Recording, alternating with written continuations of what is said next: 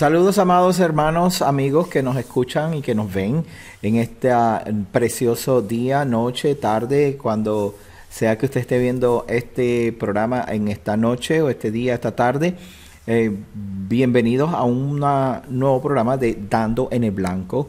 Ah, este, quien les habla es su pastor Gabriel Paredes y estoy aquí gozoso y feliz de poder este, traerles este mensaje en, este, en esta tarde, esta noche. Es bueno eh, saber que usted nos está mirando y saber que usted pues, nos ha permitido llegar hasta sus hogares y que nos ha permitido pues por lo menos compartir este ratito con usted mientras estudiamos la, la escritura. Eh, hoy eh, vamos a continuar con una, eh, un estudio que estamos haciendo, una serie de estudios que estamos haciendo acerca de la carta a los Gálatas. Ok, esta es la segunda parte y ah, si usted no ha visto la primera parte sería bueno que viera primero la primera parte, que es la introducción para conocer un poquito acerca de la historia, la sociología, la economía, cómo estaba viviendo la sociedad en el tiempo que fueron escrita la, la, carta a los Gálatas.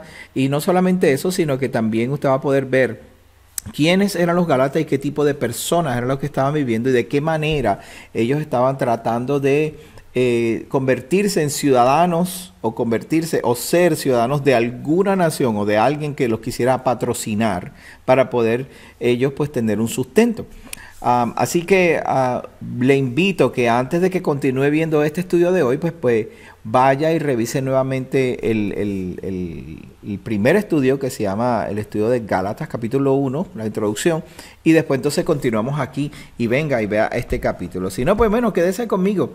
Eh, para, eh, si tienes tiene alguna pregunta, algún comentario, le voy a agradecer pues entonces que nos envíe sus comentarios, sus preguntas aquí a Teshuba TV y que haga referencia al pastor Gabriel Paredes de Dando en el Blanco de la iglesia Casa, de la congregación Casa de Israel, Yará en Davenport, Florida. ¿Ok?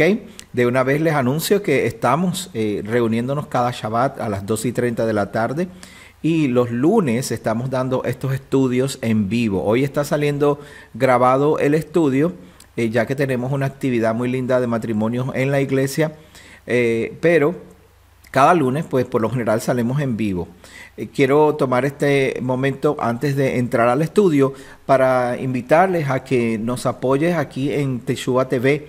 Teshuba TV es, es, una, es un medio por el cual estamos nosotros trayéndole la palabra a muchas naciones, a muchos lugares, hermanos, eh, familias, congregaciones que se encuentran solas. Eh, nosotros recibimos noticias de tanta gente que no tiene dónde ir a congregarse una congregación que estudie las raíces hebreas como nosotros lo estudiamos y lo enseñamos.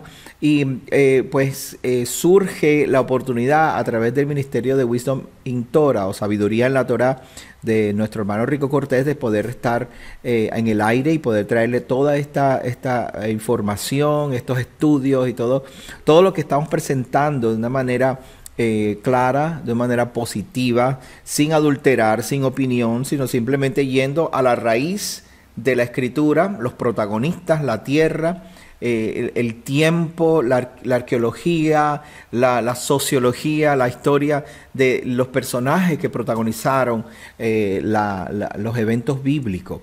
este programa está, con este mi programa está deseando simplemente enseñarle a usted y traerle a usted la información según está escrita, viéndola desde el punto de vista de los judíos, quienes fueron los que escribieron esto, los hebreos.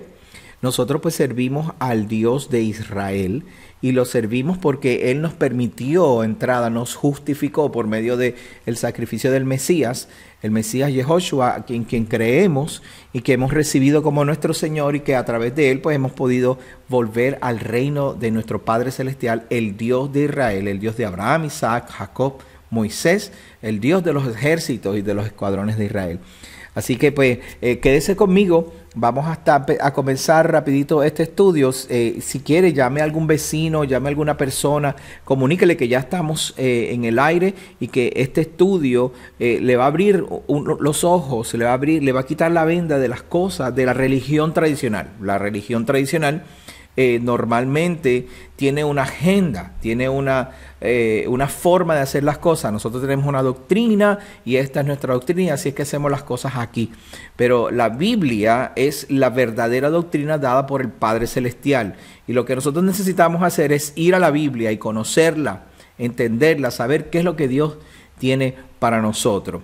Yo, si usted tiene papel lápiz, anote allí para que sepa cuál es la versión o cuál es el, el, la, el software, la aplicación que yo utilizo como Biblia, eh, ya que no solamente es una aplicación, sino que no, también contiene un diccionario, el diccionario Strong, y contiene ah, también una concordancia. Eso es importante cuando nosotros somos creyentes que estudiamos la escritura con un diccionario y una concordancia, un diccionario interlineal griego, un diccionario interlineal hebreo, ¿ok? Y que tengamos una concordancia, porque en el Nuevo Testamento o el Brit Hadashah o las escrituras del primer siglo, la, mayoría, o sea, en eh, cada capítulo, cada verso contiene una porción donde dice cómo está escrito. Y cuando dice cómo está escrito, nosotros tenemos que ser este, diligentes en saber a qué se refiere Pablo, Pedro, Filemón, uh, eh, Jacobo, cuando dicen como está escrito o como fue profetizado. Porque tenemos que verificar que si ellos dicen como está escrito, que lo estén diciendo, que lo estén eh, citando como está escrito. Que ah, no vaya a decir Pablo, por ejemplo, como torce en sus escrituras, y dice, no, Pablo dijo tal cosa y él dijo que eso estaba escrito. Y cuando tú ves lo que dice Pablo y lo comparas con lo que está escrito, no, no cuadra, no es lo mismo. Entonces, ¿quién tradujo esto de tal manera que le pusiera palabras en la boca de Pablo como que Pablo estaba diciendo una cosa cuando no es, no es cierto? Entonces, tenemos que ser diligentes en hacer este trabajo, en ir y buscar dónde está escrito, qué es lo que está escrito y si es, eh, si es verdad lo que están diciendo. Pedro dijo, como está escrito, bueno, sed santos porque yo, porque yo soy santo, porque así está escrito, sed santos porque yo soy santo. Ok, vamos a ver dónde dice eso que está escrito y usted va a Levíticos capítulo 11, 18, 19 y va a ver y va a encontrar dónde dice sed santo porque Yahweh es santo, Dios es santo, nuestro Señor, nuestro Elohim es santo. Así que seamos diligentes y seamos buenos estudiantes, ¿ok? Salgamos de las estadísticas. Las estadísticas dicen que el 89% de los creyentes de las iglesias tradicionales no leen la escritura. 89%, imagínense si no vamos a tener no solamente decadencia en la sociedad, eh, sino en nuestra familia, nuestros hijos apartados y, la ah, asimilación del mundo dentro de, la, dentro de la religión tradicional. Nosotros no estamos asimilándonos al mundo porque nosotros no amamos al mundo. Si alguien ama al mundo, no es el amor del Padre no es él y no es amigo de Dios. Así que no amemos al mundo, vivamos como Dios quiere que vivamos, ¿ok? Ok, muy bien, pues vamos, vamos rapidito a entrar al estudio de Galatas. Eh, solamente voy a hacer un pequeño, pero bien corto resumen de lo que hablamos la última vez. Primeramente hablamos de la historia de los Gálatas, que los Gálatas se conocen como los celtas. Lo que, ah, yo no sé si usted ha visto la película Braveheart o... Em, eh, una película muy vieja que salieron unos, unos ah, mercenarios luchando en contra del ejército de Roma. Eh, o los vikingos, ese tipo de gente así, eso eran los Gálatas, eran gente bien fuerte, eran gente eh, eh, mercenarios, guerreros, y ellos luchaban para otras naciones constantemente, los contrataban, venga, yo quiero que ustedes luchen para mí, para, para, lucha para Egipto, lucha para Persia, lucha para Asiria, y cada vez que ellos los contrataban, pues ellos luchaban con ellos, pero el después los Gálatas o los celtas querían conquistar a ese hombre que los, o esa nación que los, que los contrataba, y cuando trataban de conquistar esa nación que los contrataba a ellos, entonces ellos perdían la guerra, y después tenían que someterse como esclavos. Para someterse como esclavo y considerarse, por ejemplo, considerarse un egipcio, tenías que hacer las cosas como hacen los egipcios, y eso era lo que te daba acceso.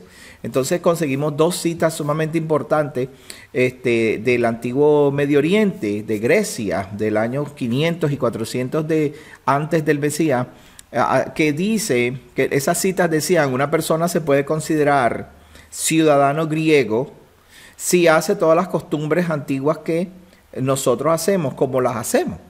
Eh, sin embargo, hubo otro eh, pensador que se llamó Isócrates que decía, si una persona hace las costumbres que estamos haciendo, no importa si son antiguas o no, no tienen que ser las costumbres antiguas, simplemente si tú haces las cosas como lo estamos haciendo hoy, nosotros, entonces tú eres considerado, eh, considerado ciudadano griego.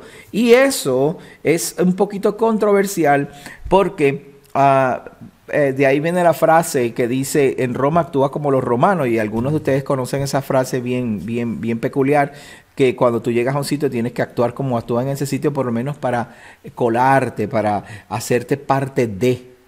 Y, entonces, si tú vas a, Costa Rica y tú tienes que hacer como los ticos y, portarte como ellos y, hablar como ellos, así como ellos hablan con la R, o si vas a Venezuela, pues empieza a decir vale, pues, y, todas esas cosas. O si vas a Puerto Rico, ¿verdad? Te tiene que gustar el arroz con gandules, etcétera, etcétera. solamente con guardar esas costumbres y esas tradiciones te haces ciudadano o te, te puedes considerar parte de ese pueblo. Y esta es la situación que los Gálatas están viviendo, porque los Gálatas, la mayoría de ellos son de los expatriados de Israel. Eran muchos de los Gálatas eran parte de las diez tribus que fueron expatriadas, eso lo vimos la semana pasada o lo vimos en el, otro estudio, y muchos de ellos andaban buscando su propia identidad y para ellos poder ser adoptados como ciudadanos de una nación, pues ellos tenían que, eh, tenían que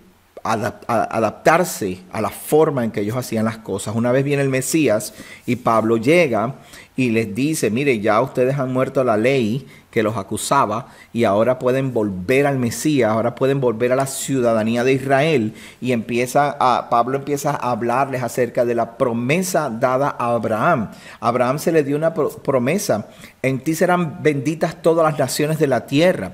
Sin embargo, cuando usted busca en el hebreo la palabra bendita dice, en ti serán injertadas todas las naciones de la tierra. lo que quiere decir, lo que dijo el padre Abraham fue que las naciones de la tierra, y esto es una profecía para el futuro, las naciones de la tierra serían injertadas dentro, del, dentro de la promesa, la promesa dada a Abraham, su hijo, a su pueblo, Israel. Eso es lo que Pablo explica en, en Romanos capítulo 11 cuando él habla y dice nosotros que éramos un olivo silvestre, un olivo que no daba fruto, un olivo que tenía espino, un olivo que no estaba cuidado, siendo de ahí nuestras ramas, nosotros siendo ramas de esos olivos, fuimos arrancados y fuimos colocados en el olivo, en, en el olivo cultivado, en el olivo verdadero que es Israel, la Israel verdadera, por medio de Yeshua Hamashiach, por medio del Mesías, fuimos injertados pues nosotros éramos antes del mundo, éramos de otras naciones, éramos dispersos, éramos expatriados, como vimos la semana pasada, primera de Pedro capítulo 1, verso 1, los expatriados de Gálatas, ahora han sido injertados nuevamente y al ser injertados nuevamente nos, nos suplimos de la savia del olivo original. El olivo original significa un olivo cultivado que da fruto, que tú puedes comer de su fruta, que de ese olivo puedes, puedes sacar aceite, que si tú te injertas a ese olivo vas a dar buen fruto, etcétera, etcétera. Eso está en Romanos capítulo 11, pero ese es tema de otro estudio. Si quieres te puedes ir a nuestra página de YouTube. En la página de YouTube yo tengo el estudio de Romanos 9, 10, 11, 12, 13, 14, hasta el 16, hasta que termine el libro, vaya y busque esos estudios y, va a ver qué es lo que significa el ser injertado, quiénes son la promesa, qué es la predestinación, quiénes son los vasos de honra y vasos de deshonra. Eso todo está, lo estudiamos ya en, el, en, en la carta, cuando estudiamos la carta a los a los romanos. Hoy vamos a ir al capítulo 2 donde vemos a los Gálatas que después que Pablo les dijo, ustedes fueron injertados por medio de Abraham, ciertos judíos creyentes o ciertos fariseos creyentes, ¿ok? Fariseos creyentes que venían de Jerusalén, llegaban a, a, Galacia y les empezaban a decir, no, no, ustedes todavía no han sido injertados porque ustedes tienen que hacer las costumbres que nosotros hacemos. ¿Ve la mentalidad que ellos tenían en ese momento? En ese momento están pensando que para ser ciudadanos tienen que guardar todas las costumbres y eso te justificaba ser ciudadano. Y hoy pues vamos a ver qué fue lo que Pablo explicó claramente acerca de cómo hacernos ciudadanos, cómo justificarnos. Y quiero, yo le hice un reto la semana pasada a, las personas que vieron el programa que buscaran dónde en el libro de Gálatas habla de salvación, porque el libro de Gálatas, o la carta a los Gálatas, no habla de salvación, habla de justificación y redención. Justificación y redención. Dígalo conmigo. Justificación y redención. Eso es lo que está hablando el, el libro de la carta a los Gálatas. Así que vamos a ir entonces a la escritura, vamos a ver qué es lo que Pablo estaba discutiendo. Ya terminamos el capítulo 1, entramos en el capítulo 2, si podemos seguimos para el 3 y vamos a ir viendo qué es lo que el Padre tiene para nosotros a través de la carta a los Gálatas. Mire, yendo a Gálatas capítulo 2, mire cómo dice la escritura. Después, dice Pablo, de pasados 14 años, subí, otra vez a Jerusalén con Bernabé y llevando también conmigo a Tito. ¿Ok? Pero subí según una revelación, ¿verdad? Y para no correr o haber corrido en vano, expuse en privado a los que tenían cierta reputación del Evangelio que predico a los gentiles, ¿verdad? Mire cómo sigue diciendo, mas ni a un Tito que estaba conmigo, con todo y ser griego, fue obligado a circuncidarse. Y esto a pesar de los falsos, ¿está viendo lo que dice ahí? Falsos, ¿ok? Ahí no dice los verdaderos, ahí dice los falsos hermanos introducidos a escondida, que entraban para espiar nuestra libertad que tenemos en el Mesías Yeshua para reducirnos a esclavitud. ¿Ok? Este evento le ocurrió a Pablo cuando llegó en el capítulo 21 de, de Hechos. Capítulo 21 usted se va, a ver qué fue lo que pasó. Pablo llegó a hablar con los hermanos en privado. Él habló en privado con Jacobo, el presidente del concilio, y con los demás ancianos del el concilio de Jerusalén, de Jerusalén. Cuando Pablo llega allá, les empieza a contar todas las maravillas que estaban ocurriendo dentro de los gentiles. Pablo en, su, en ese viaje, él regresó a Jerusalén y empieza a contarle, mire cómo los gentiles nos los estamos ganando. Entonces lo habló en privado con ellos. Pero en, esa reunión privada se colaron algunos hermanos falsos. O sea, este, el Pablo está hablando de algunos fariseos y judíos que no habían recibido a Yeshua Hamashiach, no habían creído en el Mesías y que se colaron diciendo, ay, sí, todo está bien, tratando de investigar quiénes eran, qué hacían, cómo lo hacían, para que no fueran al templo. El templo de Jerusalén era lo más el lugar más importante de la historia bíblica. Es el lugar más importante. ¿Por qué es el lugar más importante? Porque fue el lugar donde Dios mismo, no estoy hablando de los hombres, ni David, ni Moisés, ni Salomón, ninguno de ellos declararon, confesaron y decretaron que ahí estaba Dios. Ninguno de ellos. De hecho, Salomón mismo dijo, ¿Qué, templo hecho de hombre te puede sostener a ti, Yahweh, nuestro Elohim? Que le dijo al, Padre Celestial, ¿quién puede contenerte a ti tan grande y tan, tan, maravilloso que tú eres? Sin embargo, fue Dios, Yahweh, nuestro Elohim, el mismo que él dijo, no, no, ese lugar yo lo he escogido por amor a tu Padre y a los padres y a las promesas que yo hice, ese lugar lo he escogido para yo habitar en medio de vosotros. En ese lugar me voy a encontrar con ustedes. En ese lugar, en el templo, yo voy a vivir para ustedes. Voy a hacer todo lo que, lo que, lo que les he dicho que iba a hacer. Yo voy a, el, templo va a ser el lugar donde yo voy a, hablar contigo. Y, Él creó el orden en el templo. Eh, eh, eh, muchas personas dirán, oh, pero Yeshua dijo, ah, miren este lugar, este templo, no quedará piedra sobre piedra, túmbenlo todo y, yo lo voy a edificar en tres días. Pero en la misma escritura dice que no estaba hablando del templo. Él no estaba hablando de la casa de Dios. De hecho, el mismo Yeshua defendió la casa de Dios y dijo, esta es la casa de mi padre y ustedes la han hecho casa de cueva de ladrones. ¿Sabe? No fue Yahweh nuestro Elohim, no fue Dios, Jehová, Yod, Hei, Hei, no fue Adonai, Hashem, no fue él quien dijo que era cueva de, de ladrones. Los hombres hicieron cueva de ladrones ese lugar. Los hombres le quitaron la santidad, eran corruptos, estaban vendiendo esquinitas para, para, para que eh, comercializando. Entonces venía un hombre, una, una, persona de lejos que quería presentar su mejor ofrenda allá en astrología. Entonces él, él, tenía una ovejita, pero como el templo queda tan lejos, pues la vendía, como dice en Deuteronomio eh, capítulo 12 al 14, dice que si el lugar donde Yahweh escogió para poner su nombre es muy lejos, pues entonces, y tienes que traer una ofrenda, vende la que tengas en la mano, ven a Jerusalén, compra lo que quieras, lo que tú quieras, compra la ofrenda, cómpralo todo y tú ven y regocíjate y tráelo y regocíjate delante del Padre. Entonces tú tienes una ovejita bella y preciosa que no puedes llevar porque es muy lejos y la vendes por un precio, vamos a decir, la vendes por 100, 100 dólares.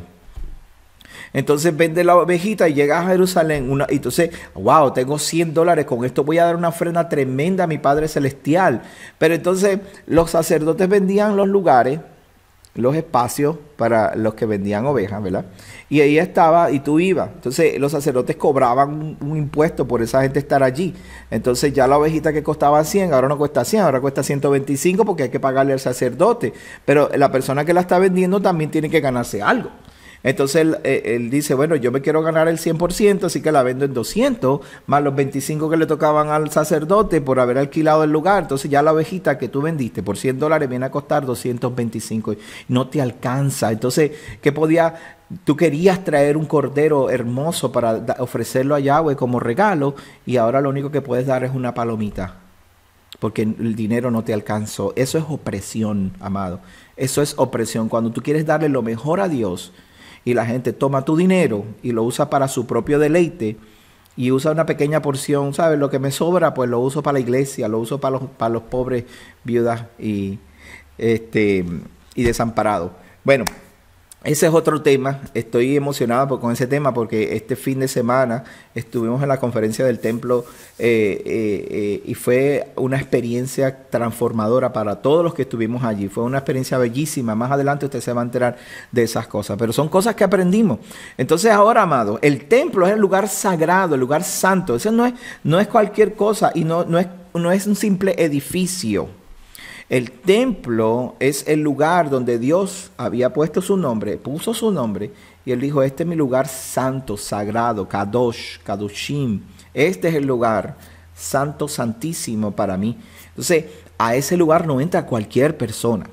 Ahora, en el templo había un grupo de, eh, del Sanedrín, un grupo de sacerdotes que eran corruptos y no permitían que nadie entrara. Y obviamente hay unas reglas y normas para entrar al templo y entre ellas está la circuncisión y eso, es, eso está en la Biblia y no podemos negarla y no podemos romper y quebrantar el mandamiento del Padre Celestial, aunque usted quiera aunque usted diga que está circuncidado el corazón, en el libro de Ezequiel capítulo 44, 43 dice que ningún circunciso ni de corazón, incircunciso de corazón o incircunciso de carne entrará a la casa del Padre. Eso lo dice ahí como profecía. No me echa la culpa a mí. Lee la escritura y usted se va a dar cuenta. Entonces, Tito...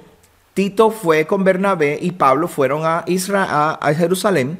Ahí estaba el templo. Tito no podía entrar al templo y no pudo entrar al templo, ni trató de entrar al templo. Por eso no fue obligado a circuncidarse. Ahora, Bernabé era circuncidado, Pablo circuncidado al octavo día, ellos sí podían entrar al templo. Entonces Pablo dice, bueno, yo fui a Jerusalén y me junté en secreto, en privado, con, los, con, el, con el concilio, y estando ahí en privado en el concilio, les conté de todas las maravillas que estaban ocurriendo. Hechos capítulo 21. Y a eso ocurrir, eh, los, ah, en, los falsos hermanos fueron y se colaron dentro de estas reuniones que el concilio de, Jerusalén hacía. Y estando allí, colado dentro de las reuniones, empezaron a escuchar lo que Pablo tenía que decir y cómo Dios estaba haciendo milagros, prodigios y señales en medio de los gentiles. Entonces, mire lo que pasa. Vamos a seguir leyendo para que vea qué es lo que está pasando. Entonces dice, y esto a pesar de los falsos hermanos introducidos a escondidas que entraban para espiar nuestra libertad que tenemos en Yeshua HaMashiach. ¿Qué era la libertad? La libertad de poder traer a los gentiles y poder eh, compartir con los gentiles y ayudarles y crecer juntos, ¿ok? La cual dice, ni por un momento accedimos a someternos para que la verdad del Evangelio permaneciese con nosotros. Y en el libro de Romanos, en el estudio de Romanos, yo les digo cuál es ese Evangelio. ¿Ok? Pero de los que tenían reputación de ser algo, ¿ves? los que se creían que eran gran cosa, los que hayan sido en otro tiempo, nada me importa. Dios no hace acepción, de persona. A mí, pues, los de, la, los de reputación no me dijeron nada nuevo. ¿Por qué qué? Cuando usted lee el capítulo 21 de Hechos, se da cuenta que Pablo, que, que, fue a hacer un voto nazareo, y para hacer, para hacer un voto nazareo tenía que hacer unos sacrificios, no lo dejaron, lo aguantaron.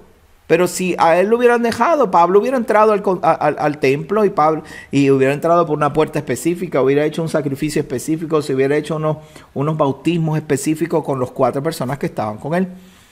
Eh, y, pero esta gente no lo dejaron porque empezaron a, perseguirlo y lo agarraron y dijeron, tú, tú estás predicando en contra del templo. Y, él, y Pero ¿cómo tú vas a decir que estoy predicando en contra del templo si estoy aquí mismo yo en el templo tratando de hacer mi voto nazareo y, de, de pagar con mis sacrificios y mis ofrendas? Seis veces Pablo fue juzgado. Seis ocasiones Pablo fue juzgado para diciendo, no, tú predicas en contra de Moisés, tú predicas en contra del templo, en contra del pueblo, y las seis veces Pablo salió absuelto. Luego en verso 7 dice, dice, antes por el contrario, como vieron que me había sido encomendado el evangelio de la incircuncisión, como a Pedro el de la circuncisión, pues el que actuó en Pedro para el apostolado de la circuncisión, actuó también en mí para con los gentiles, y reconociendo la gracia que me había sido dada, Jacobo, Cefas y Juan eran considerados como columnas. Nos dieron a mí, a Bernabé, la diestra en señal de compañerismo para que nosotros fuéramos a los gentiles y ellos a la circuncisión. ¿Cuándo ocurrió esto? ¿Cuándo ocurrió esto? Hechos capítulo 15. En Hechos capítulo 15, la primera vez que Pablo va a Jerusalén para traer el reporte de lo que estaba haciendo, él fue con una encomienda porque tenía un problema con los fariseos que seguía, querían obligar a los, a los gentiles a guardar las tradiciones y a guardar la ley para ser justificados y de tal manera que fueran salvos después de la justificación. Entonces, Pablo tiene una lucha y, está en una discusión, pero no, no suave, una discusión fuerte. Entonces, cuando él va a, la columna, las columnas le dijeron, no, tranquilo, le dieron la mano, dijeron, dale, estas son las cartas que, que tú vas a llevar y solamente hay cuatro cosas que los gentiles tienen que hacer para ser justificados, ¿ok? Y quiero darle énfasis a esa palabra porque una cosa es ser justificado y otra es ser salvo. Y, él les dice, bueno, esto es lo que tienen que hacer, estas cuatro cosas. Apartarse de la fornicación, apartarse de la idolatría, apartarse de la, lo, ahorcado, los alimentos ahorcados y de la sangre. O sea, tú te apartas de fornicación, idolatría, lo ahorcado y la sangre, y eso simplemente son los primeros pasos para poder entrar a al reino, para ser justificado. Y en el verso, en Hechos, capítulo 21, y lo, quiero buscar para que usted lo lea conmigo. Hechos, mire, voy a buscarlo aquí rapidito. Hechos capítulo 15. ¿Ok? Lea bien conmigo, Hechos capítulo 15. Búscalo ahí en su Biblia. Yo sé que usted puede también buscar en la Biblia. Le voy a mostrar. Hechos. Voy a buscarlo aquí rapidito. Hechos capítulo 15. Mire cómo dice en el verso 21. Eh, eh, mire, dice, lo está viendo ahí en su pantalla. Porque Moisés desde tiempos antiguos tiene en cada ciudad que lo prediquen, quien lo predique en las sinagogas donde es leído cada día de reposo. Ellos dicen, en el capítulo, Hechos 15, capítulo 15, verso 20, dice, sino que se le escriba, Vamos a leer el 19. Por lo cual yo juzgo que no se inquietan los gentiles que se convierten a Elohim, sino que se les escriba que se aparten de las contaminaciones de los ídolos, de fornicación y de ahogado y de sangre. Porque Moisés, ¿ve? dice, hay que seguir leyendo, porque Moisés desde tiempos antiguos tiene en cada ciudad quien lo predique en la sinagoga, sinagoga donde es leído en cada día de reposo. ¿Ok? En cada día de reposo. Y después, mire, ahí es donde le dieron la mano a Pablo y a Bernabé, donde dice, entonces les pareció bien a los apóstoles y a los ancianos con toda la iglesia elegir de entre ellos varones y enviarlos a Antioquía con Pablo y Bernabé, a Judas, que tenía por sobrenombre Bar, Sabas, y a Silas, varones principales entre los hermanos.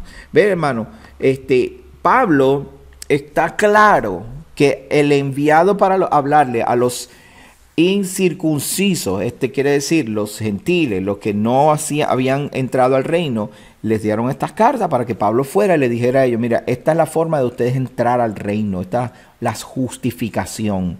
Usted se justifica por la fe, recibe el Espíritu Santo y se le dan cuatro reglas principales para empezar. Lo primero que tiene que hacer, dejar la idolatría, la fornicación, lo horcado, y la sangre. Esas son las primeras cuatro reglas. Ahora, dejaste, ahora, eh, después de que tú sabes esto, el verso 20 de, de Hechos dice, ahora ve a la sinagoga, porque en todas las sinagogas se enseña Moisés. En todas las sinagogas no se enseñaba la carta de, de, la gracia falsa de Pablo. No se enseñaba el libro de, Moody o de, Martín Lutero. Se enseñaba Moisés, señores y señores. Lo, lo acabamos de ver en la escritura. Entonces, si se enseñaba Moisés, no creo que se enseñaba. Ve, mire, ahí se paró un pastor a gritar y, decir en la sinagoga el sábado y decía, pues mire, le voy a enseñar a Moisés, pero esto no hay que hacerlo. Vamos a predicar de Moisés, pero esto es, esto es una historia de antes. No, se enseñaba a Moisés para saber cuáles son las reglas del reino después que estás dentro del reino, no desde afuera, no para entrar al reino.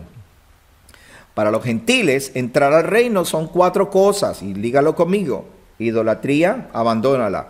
Fornicación, si andas por ahí brincando de cama en cama, abandónala también.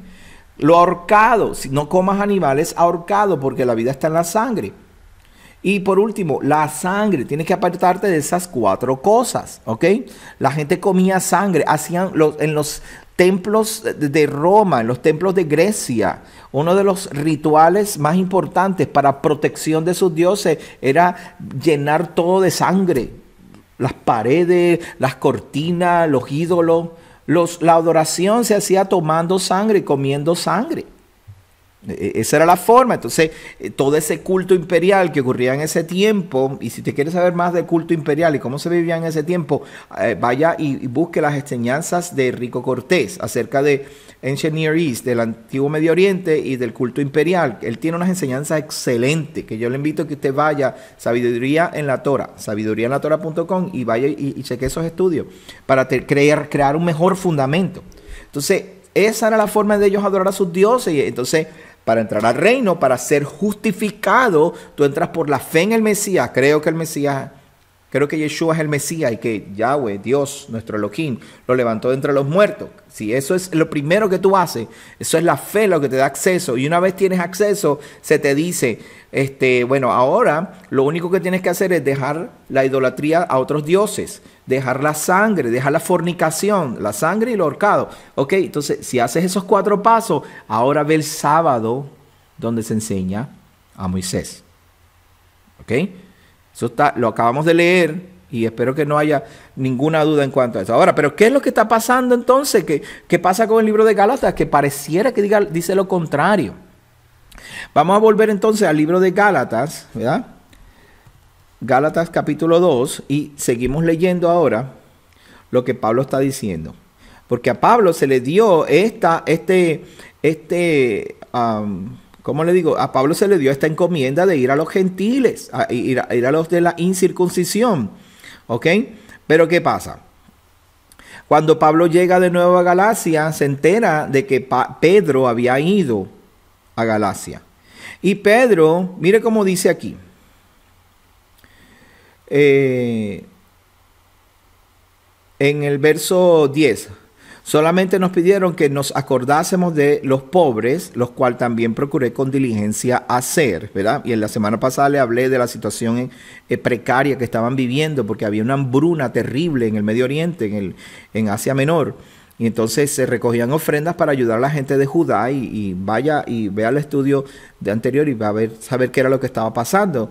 Entonces dice, pero cuando Pedro vino a Antioquía le resistí cara a cara porque era de condenar. ¿Qué, qué era lo que estaba pasando con Pedro?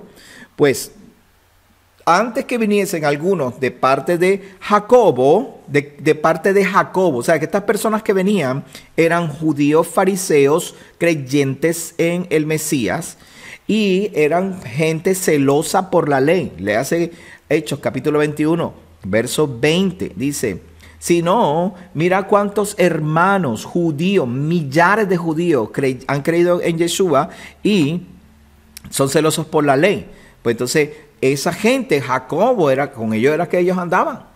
Y, Jacobo era el hermano de Yeshua y él andaba gozoso y contento, guardaban la ley, se reunían los sábados, no comían limpio, iban al templo, su adoración era siempre excelente, de acuerdo a Moisés.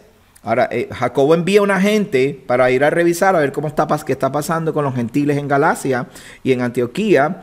Y Pedro había ido anteriormente y mire cómo dice, pues antes, verso 12, que vinieran algunos de parte de Jacobo, comía con los gentiles, pero después que vinieron se retraía y se apartaba porque tenía miedo a los de la circuncisión.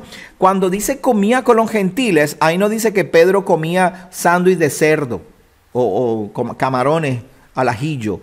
No comía nada de eso, él comía con los gentiles, pero comía comida limpia. Y eso lo sabemos porque en Hechos capítulo 10, Pablo, Pedro tiene una experiencia con el Señor donde el Señor le dice, mate y come, y él dice, jamás, nunca, Señor, he comido nada inmundo o, profano. Nunca. ¿Cómo voy a comer eso? Y Pedro nunca comió. Pedro comía limpio como buen judío. Entonces, pero se sentaba con los gentiles.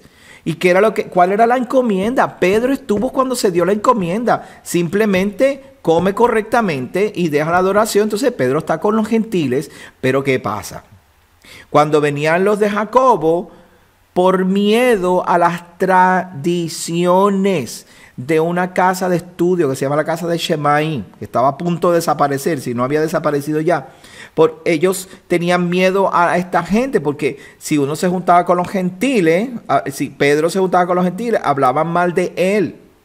Entonces, mira cómo dice, Pedro tenía miedo de los de la circuncisión, verso 13, y en su simulación participaban también los otros judíos, de tal manera que aún Bernabé fue también arrastrado por la hipocresía de ellos. En su simulación lo que quiere decir es que ellos estaban como que, ay, chichichija con los gentiles, hasta que vinieran los otros judíos de allá de Jerusalén, que eran bastante estrictos y eran bien, tú sabes, todo era por las tradiciones, las tradiciones eran lo más importante que la misma ley.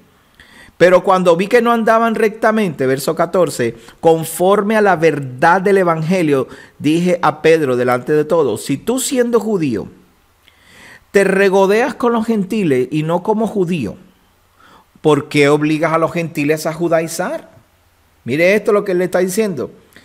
Pedro, cuando te veo que andas con esa hipocresía de que estás con los gentiles hoy, de repente si viene alguien de Jerusalén, pues no te junta para que no hablen mal de ti cuando tú sabes bien que los gentiles se les dio acceso por medio de la fe.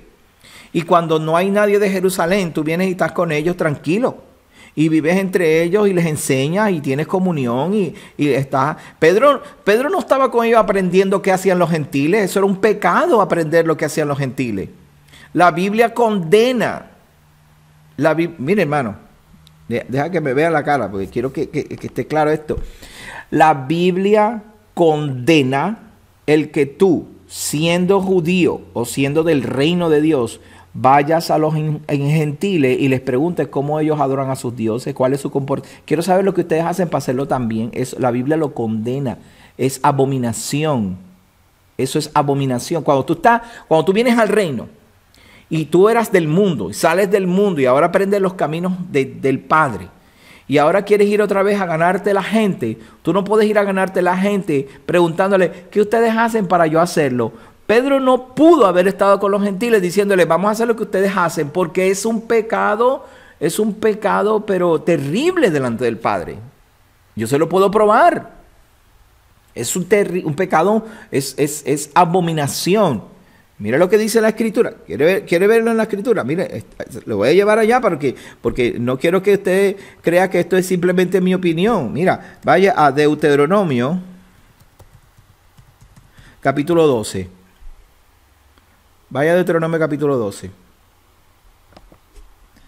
Deuteronomio 12. Deme un segundito, que mi Biblia no me está trayendo, no me está dando la, la no me está dejando ir a Deuteronomio. Mire. Quédese ahí conmigo porque lo vamos a leer. Yo quiero que usted lo lea y se informe. Que usted sepa que no estamos hablando de disparate. Deuteronomio capítulo 12. Aquí está. Lo que usted está buscando conmigo. Gracias por ser paciente conmigo. Y vamos a, al final del capítulo. Mire cómo dice aquí. Cuando, verso 29 en adelante, usted lo está viendo ahí conmigo en la pantalla, dice, cuando cuando Yahweh tu Elohim haya destruido delante de ti las naciones a donde tú vas para poseerlas y las heredes y habites en su tierra, guárdate de que no tropieces, es, hasta un tropiezo, yendo en pos de ella después que sean destruidas delante de ti. No preguntes acerca de sus dioses diciendo, de la manera que servían aquellas naciones a sus dioses, yo también les quiero servir. Lo que hacen los gentiles, yo lo quiero hacer también. Mira lo que dice. No harás así a Yahweh tu Elohim, porque toda cosa abominable que Yahweh aborrece, hicieron ellos a sus dioses. Pues aún a sus hijos y sus hijas quemaban en fuego a sus dioses. Cuidarás de hacer todo lo que yo te mando, no añades y no le quite. Ve, ve, que está ahí claro, hermano. ¿Está o no está claro ahí? Entonces, nosotros no podemos acusar a Pedro de que se fue con los gentiles a, hacer las cosas que hacían los gentiles. Pedro era un instructor, un maestro. Pedro les enseñaba a ellos. Y le decía, mire hermano, ahora que está aquí me voy a juntar con ustedes. Vamos a sentarnos aquí, traigan, ponemos una mesa Traemos comida, comemos y le enseñamos, así como hacemos hoy en día. Hoy en día yo, si yo voy a Puerto Rico, salgo con el pastor, mi amigo, mi hermano, pastor Walter, y se, se junta eh, este, el licenciado Radisson, y se junta Josué, y se juntan los muchachos de, la congregación, y nos sentamos, vente, y empezamos a hacer midrash, a estudiar, y a, a preguntar, y a compartir nuestro conocimiento. Eso es lo que hacía Pedro. Pero no podemos acusar a Pedro de que estaba haciendo las cosas que hacen los gentiles, porque eso no, no es lógico. No, no, no cabe en ninguna cabeza. Si usted le enseñan eso, de verdad que búsquese otra iglesia, porque en verdad le está enseñando mentira. Seguimos leyendo. ¿Ok?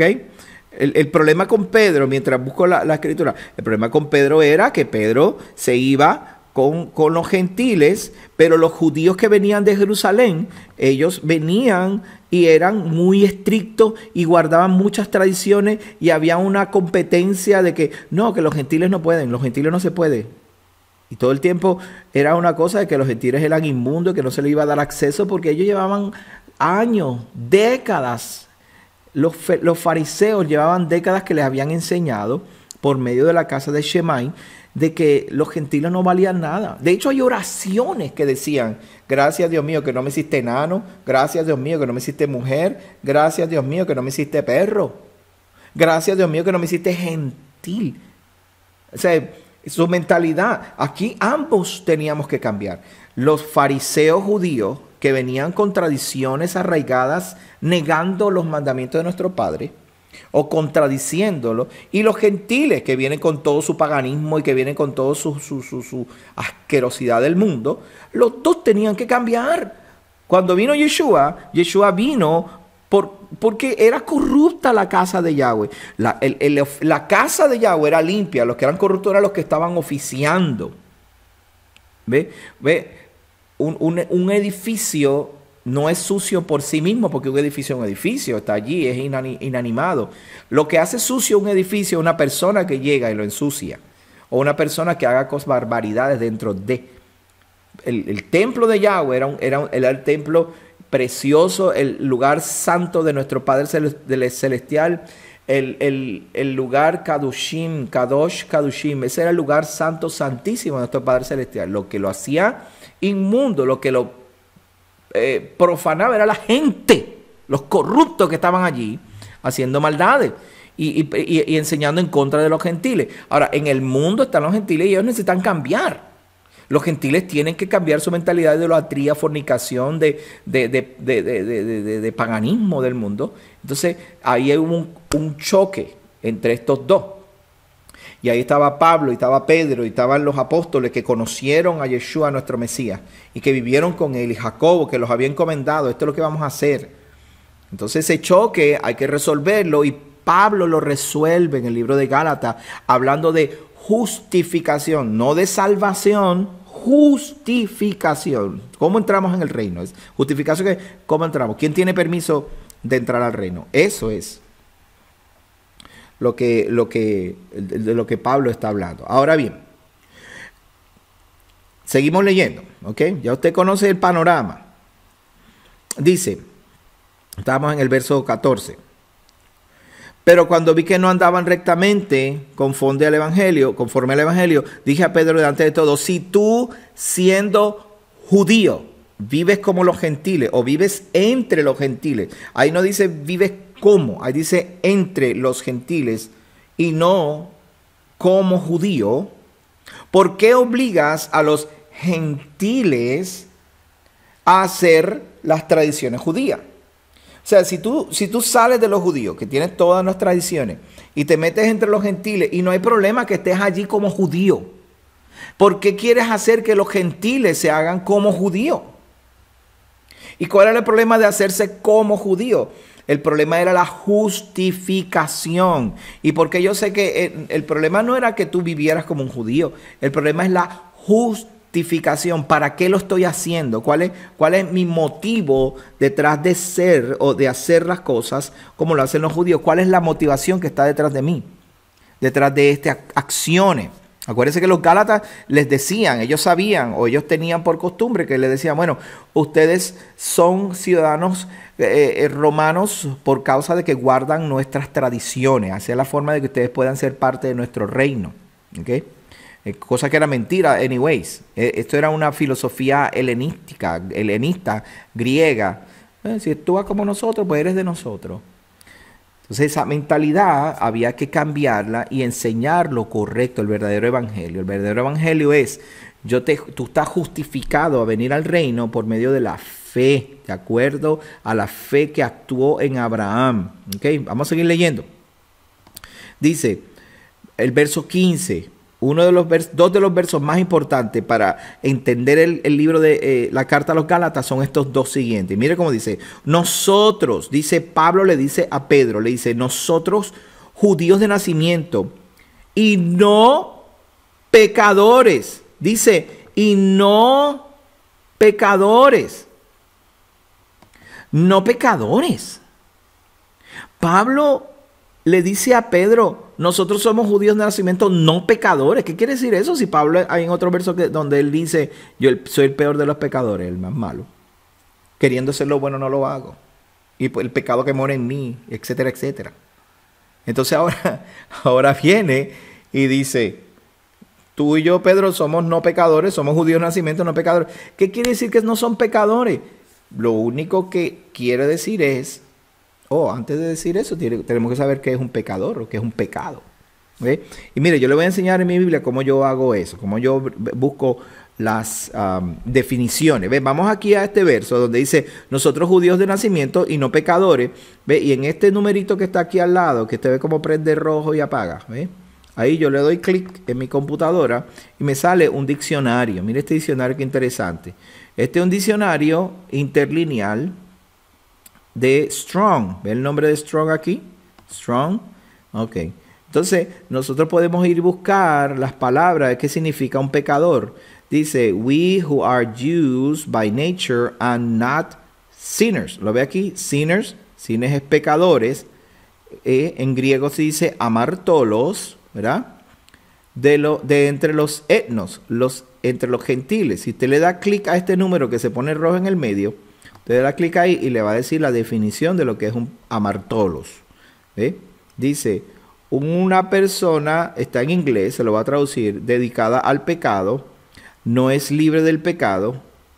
Eh, dice, preeminentemente pecador, especialmente engañador, todos los engañadores, especialmente, etcétera, etcétera. ¿okay? Pero esta palabra tiene una raíz, que yo consigo la raíz de esa palabra que está aquí, porque ahí no fue muy claro. Un pecador es un pecador, eh, ok, pero ¿qué es pecado?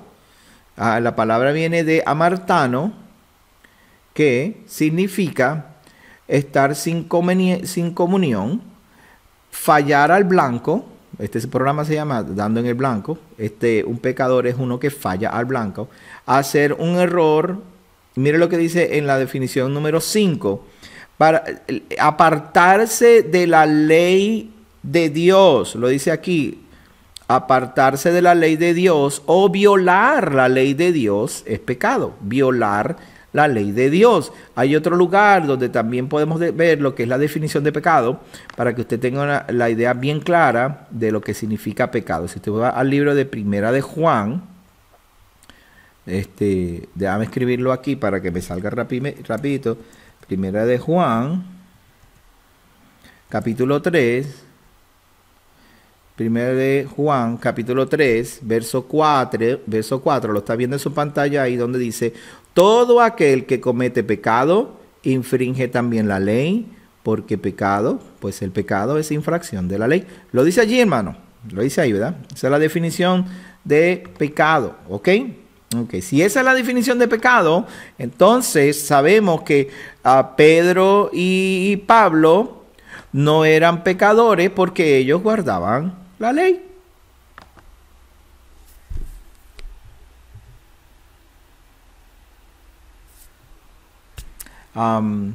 no hay nada más que explicar. Simplemente Pablo le dice a Pedro, tú y yo guardamos la ley. Somos judíos de nacimiento. Nosotros caminamos de acuerdo a la ley. Eso es todo. No somos pecadores porque guardamos la ley. Porque pecado es no guardar la ley. ¿Está muy difícil de entender eso? No, fácil. Pecado es quebrantamiento de la ley. Fallar al blanco es Fallar al blanco es transgredir la ley. Eso es lo que dice la definición de la Biblia. Fallar al blanco es transgresión a la ley dada a Moisés. ¿Ok? No la ley de esta de la religión, religión tradicional que dice, no, eh, la ley es amar a Dios, amar a tu prójimo. ¿Ok? El fruto de transgredir la ley es dejar de amar a tus prójimos, dejar de amar a Dios. Cuando tú dejas de amar a Dios, no guardas la ley. Cuando tú dejas de amar a tu prójimo, no guardas la ley. El fruto de no amar a Dios y no amar a tu prójimo es no guardar la ley. Pero si tú amas a Dios, Yeshua dijo, guarda los mandamientos. Ama a tu prójimo como yo te he amado. Si tú vas a amar a tu prójimo, tienes que hacerlo de acuerdo a como lo hizo Yeshua, que lo hizo de acuerdo a lo que dice la ley.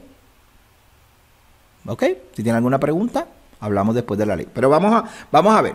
Dice, sabiendo, ve, nosotros somos judíos de nacimiento y guardamos la ley. Nosotros no somos pecadores, guardamos la ley. Luego dice, aún así sabemos, ¿ves? Dice, sabiendo que el hombre no es justificado por las obras de la ley. La ley no es la, lo que te da justificación. ¿Ve que ahí no dice salvación? Lo están viendo que dice, dice justificación. Sabiendo que el hombre no se justifica por las obras de la ley, aquí dice, obras de la ley, esto es diferente, porque guardar la ley no es lo mismo que guardar las obras de la ley. ¿ok? Y eso tiene una definición que vamos a tocar en otro tema. Pero eh, para hacerlo un poco más simple, dice, nosotros sabemos que guardamos la ley, nosotros no somos pecadores y vivimos conforme a la ley, lo hacemos bien, pero nosotros sabemos que eso no es lo que justifica al hombre sino la fe en el Mesías.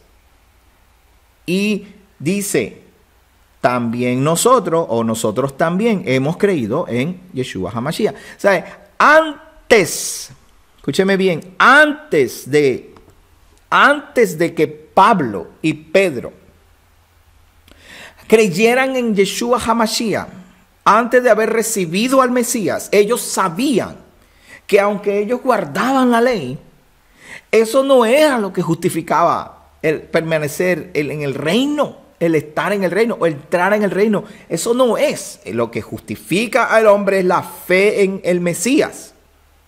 ¿Ok? Ahí lo dice. Nosotros, siendo judíos, sabemos que no pecamos, guardamos la ley. Sabemos también que el hombre no se justifica por la ley, nosotros también, él dijo, nosotros también, lo está, lo está viendo ahí, donde dice, nosotros también hemos creído en Yeshua HaMashiach para ser justificados por la fe. Nosotros no nos justificamos por la ley, nosotros nos justificamos por la fe del Mesías y no por las obras de la ley, por cuanto las obras de la ley nadie se justifica. Nadie se justifica por las obras de la ley. ¿Y por qué entonces guardaban la ley? ¿Qué rayos hacían guardando la ley? Porque la ley es lo que te da el orden dentro del reino. Porque la ley se enseñaba cada Shabbat, cada Shabbat se enseñaba la ley en toda la sinagoga y nosotros como ellos como judíos, buen judíos de nacimiento, guardaban las obras, los mandamientos de la ley. Guardaban todo lo que la ley tenía que hablar de ellos. Guardaban todo lo que el Padre había ordenado, lo que el Padre había dicho, esto es lo que tenemos que hacer. Pero no se justificaban porque guardaban eso. Su justificación estaba porque creían en el Mesías. Tenían fe que el Mesías venía. Ellos creían en la promesa dada a nuestro padre Abraham. Eso es lo que ellos estaban confiados y creían. Mira cómo sigue diciendo. Y si buscando ser justificado en el Mesías, también nosotros somos hallados pecadores, es por esto Cristo o el Mesías ministro de pecado. No, o sea, cuando el Mesías viene y ahora yo me doy cuenta que mi fe haciendo las obras de la ley, aún así me hallo falto, todavía estoy corto, todavía me falta más. Lo único que necesitaba era la fe en el Mesías. Ah, entonces, ¿qué quiere decir? Que el Mesías vino a decirme a mí, usted es pecador e hijo del diablo. No, el Mesías vino para que yo viera que las obras de la ley no es lo que me justifica. Que creer en Él es lo que me justifica. Eso no lo hace a Él ministro de pecado.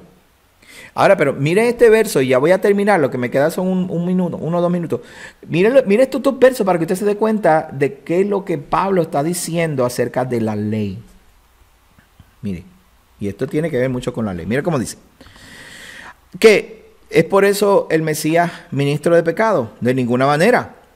Porque si las cosas que destruí, las mismas vuelvo a edificar, me hago transgresor. Porque yo por la ley soy muerto para la ley, a fin de vivir para Elohim.